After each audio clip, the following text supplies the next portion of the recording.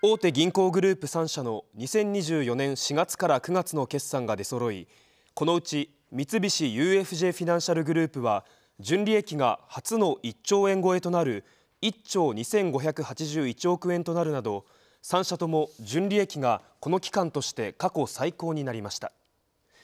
日銀の利上げを受けて融資の利ざやが改善したほか政策保有株の売却を積極的に進めたためです。また3社とも2025年3月期通期の純利益の予想を引き上げました。